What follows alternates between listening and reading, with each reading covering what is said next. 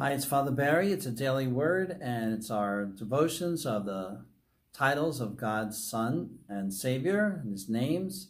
It's the fifth day of the Christmas octave, and uh, it could be the celebration of Thomas Becket. We certainly salute that saint, that English saint, that martyr.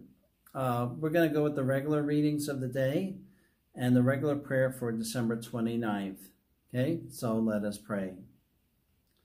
Almighty and invisible God, who dispersed the darkness of this world by the coming of your light, look, we pray, with serene countenance upon us, that we may attain with fitting praise the greatness of the nativity of your only begotten Son, who lives and reigns with you in the unity of the Holy Spirit, one God forever and ever.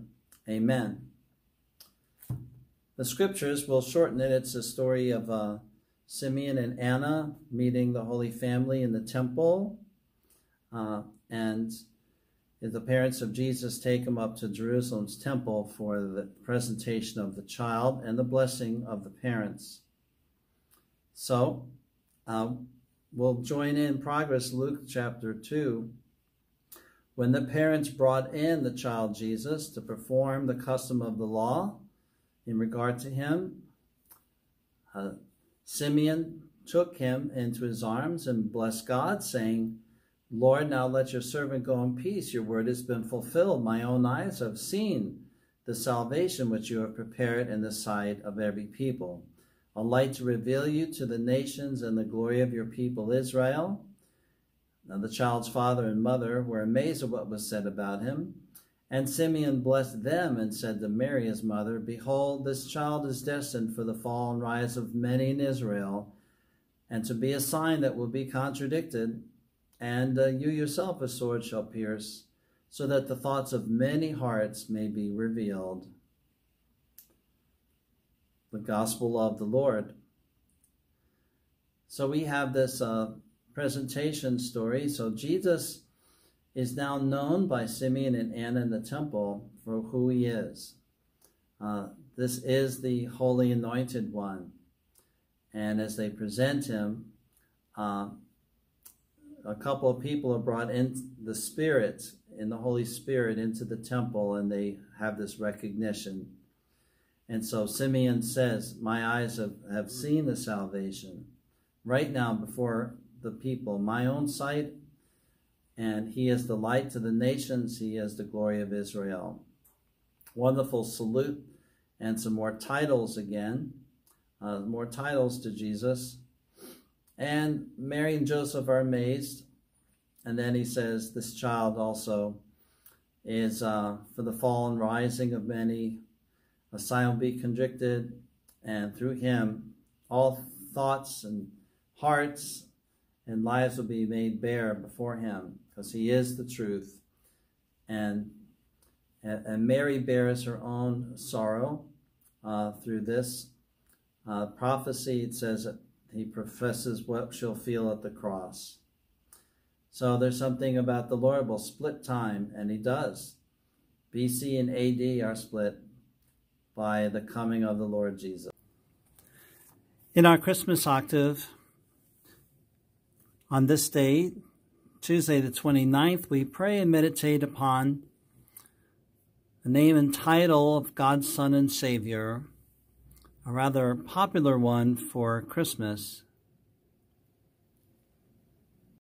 And it is the Word, the Word, especially as John's Christmas story spends the first 14 verses of the good news, celebrating the Word.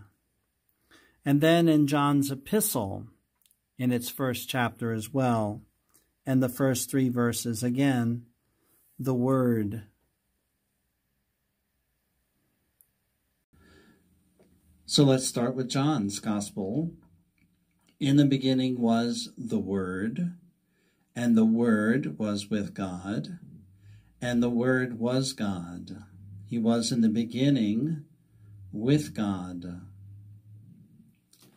Well, this title, The Word, goes back to Genesis, and where all things begin, pre existing that is the Word, who is God. Luke likes to call the Word the Logos and appearing, appealing to uh, his Gentile audience. John is writing to Jews and Gentiles and anyone around the world, but he is saying uh, it's a recreation for the Word who is with God, who is in the beginning. It says all things that came into being through him. Without him, nothing came into being. Well, he's come. He's come. The Word has revealed himself into humanity. The light shines in the darkness, and the darkness did not overcome it, knowing the, uh, the resistance that Jesus' ministry will have. The darkness did not overcome it. He was in the world, but the world that was came into being through him did not know him. That's how strangers, how much are we were strangers to God, not recognize him when he came. You could say he came in somewhat of a disguise of a child. But it does say his own people, some of them, received him, believed in his name. Interesting, it says his name. So all this time we were talking about names and titles of the Lord, and so it's very important to believe in his name, isn't it? To all who received him who believed in his name, he gave power to become children of God. So that's you and I. As we go through this exercise, we we go through a meditation every day from Advent into Christmas, wanting to love the name and love all the names of our Lord, but to love Jesus and it says we can be born of God. And so how does it all get manifested? John 1:14, one of the great Bible verses there is. And the word became flesh and lived among us.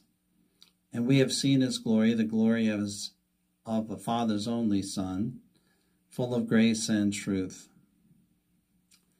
You know, it's a prayer this time of the year where you pray the three Hail Marys and and the Word was made flesh and dwelt among us is part of that prayer.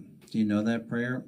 And do you bow your head when you say that phrase and the Word became flesh?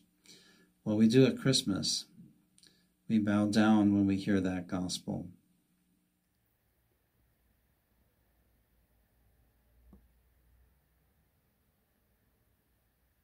When the Gospel of John proclaims this, the Word became flesh and lived among us, it is stating that the fullest and most complete revelation of God occurred in the life and ministry of Jesus Christ.